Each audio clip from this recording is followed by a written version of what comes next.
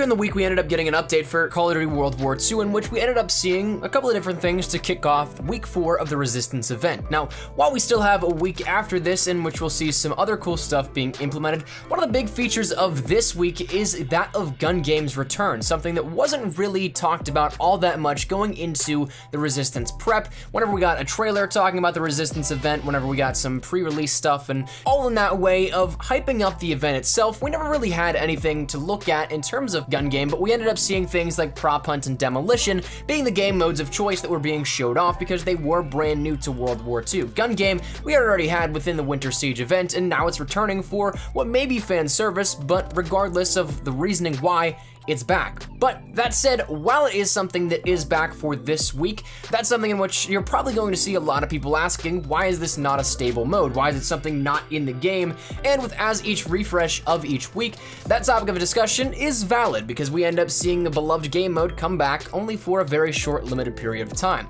So the question that is on the table today is why are these not stable? Why are they not something that are implemented fully within World War II? That's what I'm gonna talk about here today in this video and give you guys a little bit of maybe of a deeper understanding, but then also give my little thoughts and feedback a little bit further as to why they may not be coming all the time as something that you can hop on, say on a random Monday, Tuesday, Wednesday of the week, say in a couple of months down the line, why they are not just stable and implemented in the game, such as a TDM, War, Domination, Search and Destroy, those other kinds of modes. So this is gonna be a little bit of an open-ended discussion and something that you guys can feel free to give your thoughts down there in the comment section down below. It's a little bit more op-ended in terms of the presentation of this video compared to what we normally do in maybe say a showcase, but nonetheless, I just wanna get a little conversation going on the topic. But let's jump right into it. So the actual idea of why we don't have as many game modes as to previously, we've actually discussed that a little bit, and it's the same sort of scenario in which why can be picked up from the topic of why there's not modes at launch compared to what we had previously in other years, and it can be placed in the topic of discussion pertaining to gun game, demolition, prop hunts, and other things like that that we might see sprinkled throughout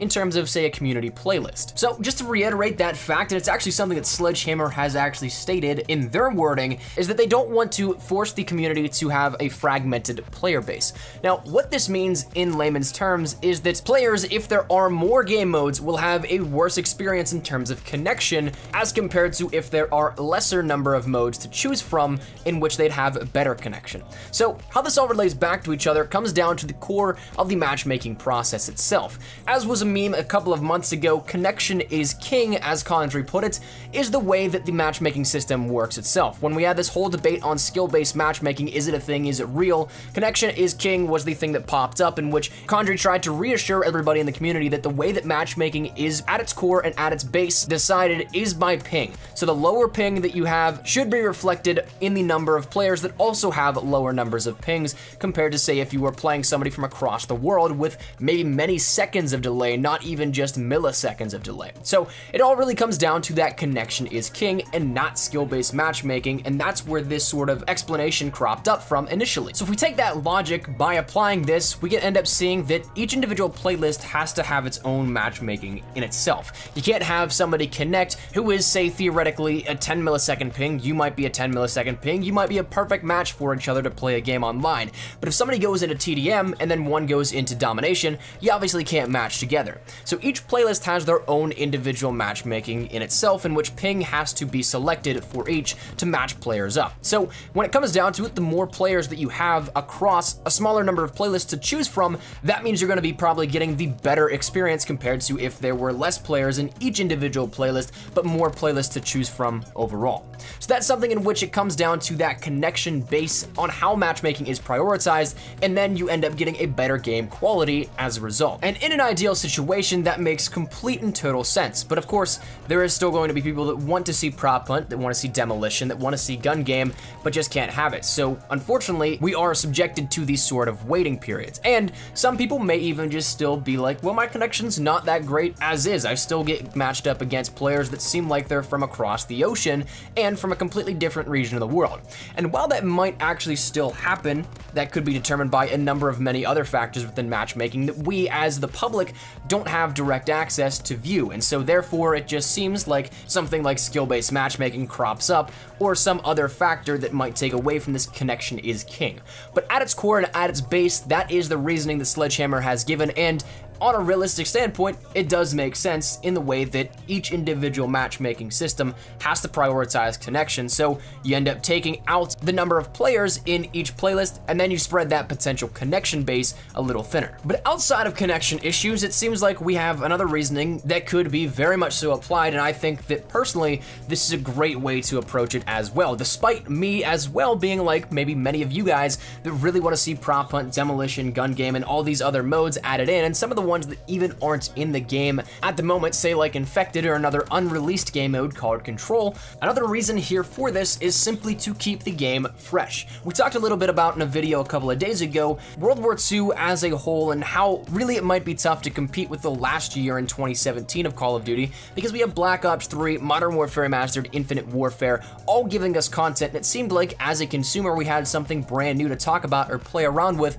almost every week, or maybe essentially every other week, and that's probably a more so accurate statement is that we actually did get pretty much something every two weeks at least. So when we have this to go to World War II, in which it's only one supported game in that year, granted we are having some DLC weapons dropped within Infinite Warfare, but that's still something of an afterthought that not many people have gone back to take advantage of. But World War II is that main supported title once again. We don't have three active titles, so we're not getting content given to us as fans nearly as much as what we had last year. So on that front, it seems stale, it seems dry, it slow, but one way to remedy this is to keep having things like seasonal events, like Winter Siege, like the Resistance event, like some things that may be coming up in the future, and also adding in modes that are specific for a very limited amount of time in each of those, to give players something that they don't have immediately to unlock, say like DLC weapons, at the beginning of the event, that's something in which we had to wait four weeks to see Gun Game come within this, and the last time we saw it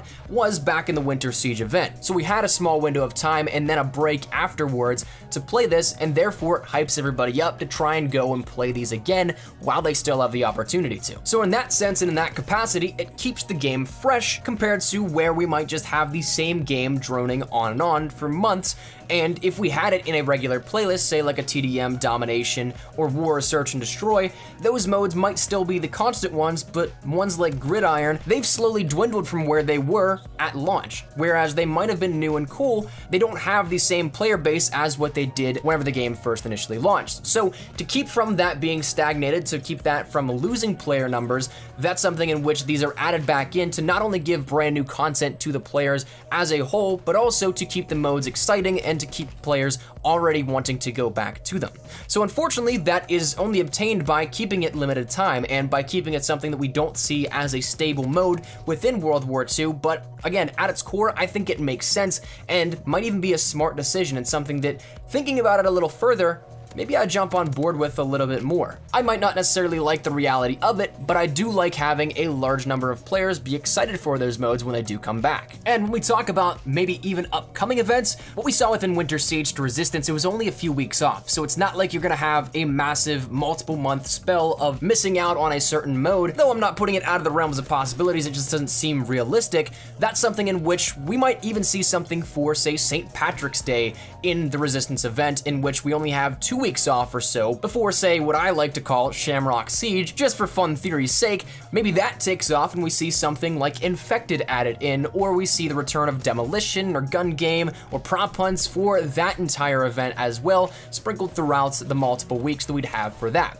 So going forward, there's a lot that we can end up seeing added in, either what we've already seen with these limited time modes, or maybe even more added in, like the way of Infected or other unreleased game modes that were still in the game code, that's something in which we now will see this probably continuing in this same trend of just events and limited modes here every so often. It's not something that they are going to be stable and for the reasons that we just mentioned, but that is what makes sense and I think how we're going to be seeing it going forward. So that said, I think this we're gonna wrap it up. Love to get your thoughts and feedback down there in the comment section down below. Of course, there is no right or wrong answer with all this kind of stuff. It's just an open discussion like we talked about at the beginning of the video. So let me know your thoughts. Do you guys think this is a good way to approach this? Do you think that you'd be willing to sacrifice a little bit of your connection to have some of the modes like gun game, infected, demolition, prop hunt, if they were stable modes? Would you be willing to sacrifice some of that? Or is it something you guys don't care about at all and you couldn't care less, you're just here to play?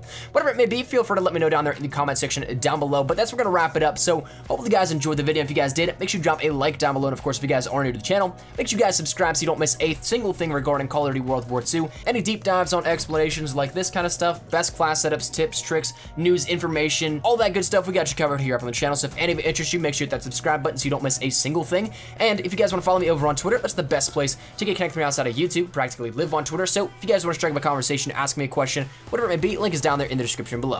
And finally, if you guys want to follow me over on Instagram, that's one front that I'm trying to get a little bit more active with in terms of, so if you guys want to follow me over there, that link is down there in the description below as well. So all that said and out of the way, hope you guys have a fantastic day. Thank you guys all so much for watching. Mine is an espresso. I'll see you guys later. Take care and peace.